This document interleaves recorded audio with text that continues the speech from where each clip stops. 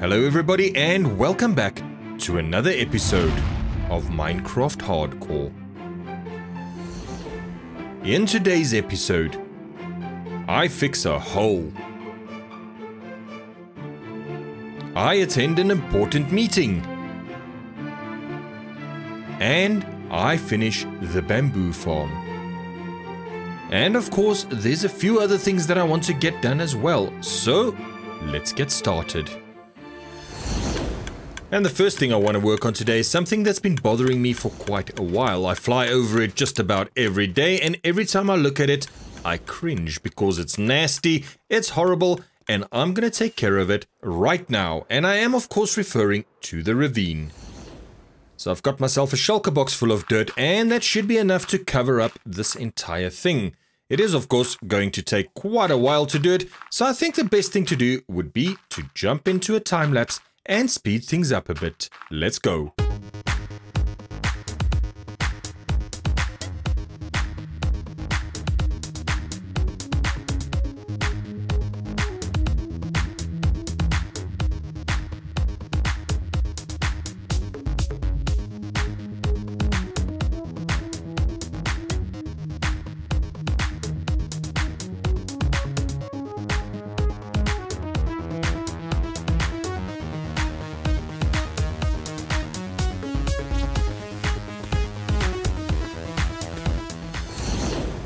And finally, the ravine has been covered up. The eyesore is gone, and already I can think of quite a few things that I would like to do here.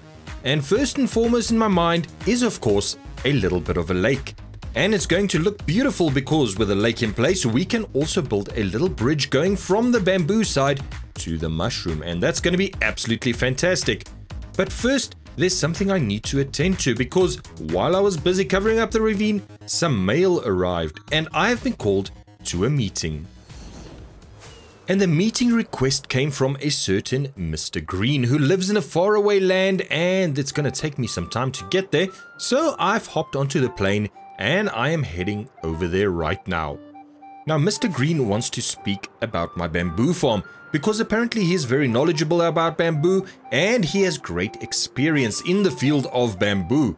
So we're heading over there to see him and to hear what he has in mind. I'm sure anything he has to say will only benefit us both, so let's just check in on this village quickly because I haven't seen it before and... Uh, nothing really interesting here, so let's carry on, because we certainly do not want to keep Mr. Green waiting. I'm sure he can make our bamboo farm a resounding success, so let's head over there and let's go hear what he has to say. And I do believe this is Mr. Green's office right here. And this certainly does take the concept of open plan offices to a whole new level. And that's the big man himself right over there, Mr. Green. So let's just go in here. Now, apparently I have to observe the customs. I have to give him a gift as I arrive. And, um, oh, then I have to take my seat over here. So let's get seated. I can see why they call him Mr. Green with a, a nose like that. And apparently Mr. Green doesn't say much, but as long as he's not speaking to you, you are still in his good books. As soon as he starts yelling, you are in trouble. And, ooh, Mr. Green really does like my gifts. So, let's get talking some business because the sun is already going down and we still have much business to discuss. So, Mr. Green, sir, if you would, please tell me about your plan for my bamboo farm and how we can use it to build a great, great success. And it seems that Mr. Green is very silent. He must be pondering very hard, and I think he is about to rock my world with the greatest plan ever. And once we got talking, Mr. Green laid out his entire plan. He wants to acquire a stake in my bamboo farm, and in return, he will provide me with some of his special knowledge about growing bamboo and making bamboo a viable crop. So, I'm going to go home and I'm going to await some correspondence from Mr. Green. He said it would arrive shortly. Ooh, and I do believe that is the mailman. Let's go see if we have received a package. I do hope that's from Mr. Green. And yes, we have a package. And inside, we have a business proposal, which is excellent news indeed, because it means Mr. Green is interested. So let's see what he has to say. Esteemed Mr. X, Hey, that's me, I'm esteemed. Anyway, thank you for the very agreeable meeting. I do believe that we have much we can offer each other. Your generous gifts and great knowledge of our customs has warmed my heart, and I do believe we can build a partnership. I will soon send plans for the new bamboo farm. However, you will first have to demolish the mess that currently occupies the land. That's a bit harsh, but fair. It is a bit of a mess at the moment, I can't deny that. Anyway, let's continue. Keep an eye out for further correspondence, which will include a list of materials you will need to procure in order to build our vision. Regards, Mr. Green. Well, that is absolutely brilliant news. So let's get started straight away and let's take care of that eyesore that Mr. Green is concerned about because, yeah, well, you'll see. And here we are, and there is the mess that Mr. Green is referring to. I tried to build something to make it fancy, and I thought of using a lot of bright colors, and, uh, well, yeah. As you can see, it hasn't really worked out very well for me so far, so I'm excited to see what Mr. Green has in mind. But first, we need to do what he says, and we need to take down this abomination that I've created here. Now, of course, I'm going to leave the farm itself intact because that's actually not been doing too badly. It's producing a few bamboo. I've used a lot of it already. But let's get started and let's tear this thing down.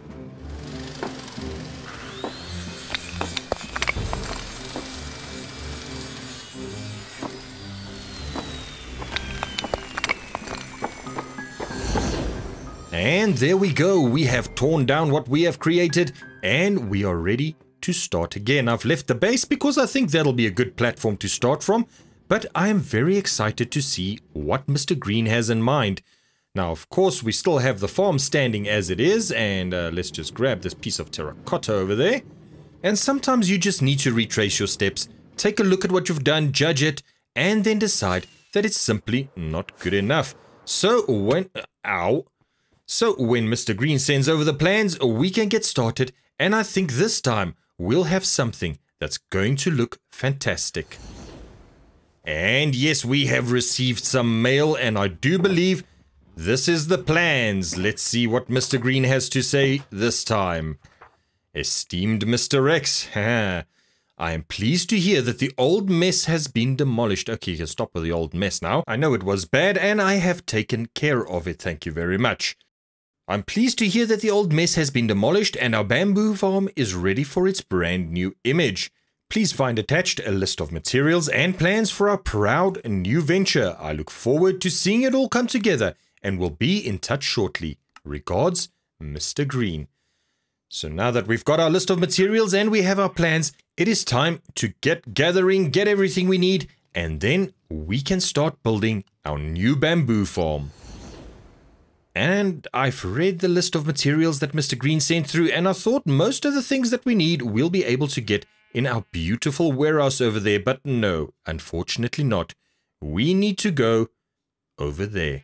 We need to go into the nether because quite a few of the materials that we need can only be found in the nether. And I'm not very excited about the prospect because the nether is where I usually die. But hopefully this time we can get in, get what we need, and get out without any incidents. So, nothing to do but head through the portal and get collecting.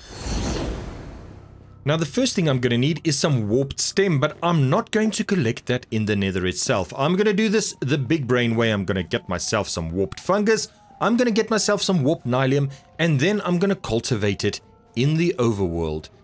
Now there's quite a few warped fungus available in these forests, so I'm gonna grab as much as I possibly can, avoid the enderman over there. And then I'm going to grab some warped nylium, and once I've got those, I will go and collect the rest of the materials. Now, here we go. These are plentiful over here, so let's just grab up as much of these as we possibly can get our hands on. And I think there's just one or two more over on this side. Now the other two materials that I need is some basalt and plenty of blackstone. Now I do know that you can build a basalt generator, but I don't think you can generate blackstone. I think you have to find it naturally occurring in the nether, which really sucks because I've been playing around with it a little bit and it is actually a beautiful block to work with. However, I've got a nice little patch over here, so I can collect all of this blackstone over here, and that should give me more than I would need for this build, and quite a bit to spare. So let's just gather up all of this. I will collect some of the basalt, seeing as I'm already here while I'm busy mining the blackstone, and that means I won't have to build a generator for that just yet. But maybe in the future, it might be needed. And I think that is all the blackstone and basalt that I'm going to need. So once again, I am getting the heck out of the nether. And as you can see, my special little patch of blackstone isn't too far from the portal at all. And this time, I've got my golden helmet on and there's no piglins that are going to be following me through. And now that we've got our warped fungus in hand, it's time to start cultivating our warped stem. And the first thing I need to do is level out a bit of an area over here, and this is where we're going to be doing our farming. Next thing, we're laying down some warped nylium. And then we are ready to put down our warped fungus. And finally, courtesy of our beautiful new skeleton farm, we've got plenty of bone meal to make these warped fungus grow big and tall. And then all that's left to do is harvest our warped stem. And we're getting plenty of it. And we've also got a ton of warped wart blocks. We've got quite a bit of warped stem. And as a bonus, we also collected a few shroomlights in the process. Not too shabby. So all that's left to do now is collect the remaining materials on our list. And there's just a few that we don't have yet. So Let's get going. Let's grab those materials. And the first is some cherry wood. We're gonna need plenty. And then of course we also need some strip cherry. We need some acacia wood. A good chunk of birch wood. We also need a ton of light grey dye because we need them to dye wool to make some banners. And then finally, we need a lot of white concrete. And uh, why, why, why did I jump down? I needed to mine it from the top, so... Oh well, okay, let's just enjoy the ride down and then we'll fly back up. And let's play a game. Let's see if we can nail this landing first time. Alright, here we go. And yes, nailed it. So let's get mining. Let's collect this white concrete. And then, ladies and gentlemen, Let's get building.